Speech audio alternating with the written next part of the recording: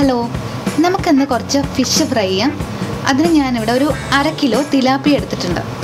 നമുക്കിതിലേക്ക് മസാലകൾ ഓരോന്നോരോന്നായിട്ട് ചേർക്കാം. ആദ്യം ഉപ്പിടാം. ഉപ്പ് നല്ല കൃത്യമായിട്ട് കിട്ടാനായിട്ടാണ് ഞാൻ എപ്പോഴും മീൻ ഇങ്ങനെ ഇതുപോലെ പരത്തി വെക്കുക ചെയ്യാറ്.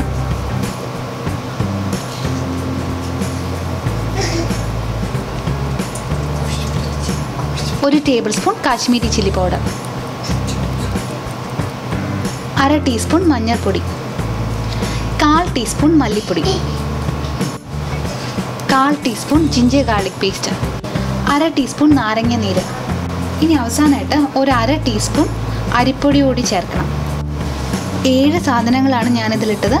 ഉപ്പ് മുളക് പൊടി മഞ്ഞൾപ്പൊടി മല്ലിപ്പൊടി ജിഞ്ചർ ഗാർലിക് പേസ്റ്റ് നാരങ്ങ നീര് അരിപ്പൊടി. ഇതെല്ലാം ചേർത്ത് നന്നായിട്ടൊന്ന് മിക്സ് ചെയ്യണം. ഞാനിതിൽ കുറച്ച് വെള്ളം കുടഞ്ഞു കൊടുക്കുന്നുണ്ട്. എന്നിട്ടാണ് മിക്സ് ചെയ്യുന്നത്. വലിയ മീനാണ് അതുപോലെ വരിഞ്ഞ് മുറിച്ചിട്ടുള്ള മീനൊക്കെ ആണെങ്കിൽ നമ്മൾ ഈ മസാലകളെല്ലാം കൂടി സെപ്പറേറ്റ് ഒരു ബൗളിൽ മിക്സ് ചെയ്തിട്ട് പിന്നെ മീനിൽ തേച്ച് പിടിപ്പിച്ചാൽ മതി. പക്ഷേ ഇതുപോലെ ചെറിയ മീനൊക്കെ ആകുമ്പോൾ ഒന്നിച്ചെല്ലാം കൂടി മീനിൽ തന്നെ ചേർത്തിട്ട് മിക്സ് ചെയ്താൽ മതി. പ്രത്യേകം മസാലയൊന്നും ഉണ്ടാക്കേണ്ട കാര്യമില്ല.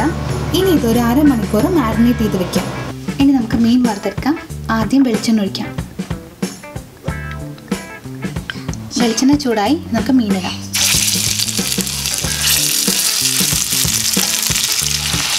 ഇതുപോലെ നമുക്ക് മീഡിയം ഫ്ലെയിമിൽ ഇത് പൊരിച്ചെടുക്കാം ഇതിന്റെ ഒരു സൈഡ് കുക്കായിട്ടുണ്ട് ഇനി നമുക്കിത് മറിച്ചിടാം.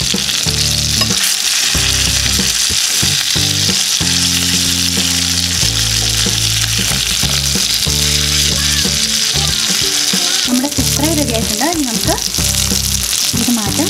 എണ്ണയിൽ നിന്ന് മാറ്റാം. ഇത് മാറ്റുന്നതിന് മുന്നേ ആയിട്ട് രണ്ട് കറിവേപ്പില ഇതിലിട്ടാൽ നല്ലൊരു സ്മെല്ലായിരിക്കും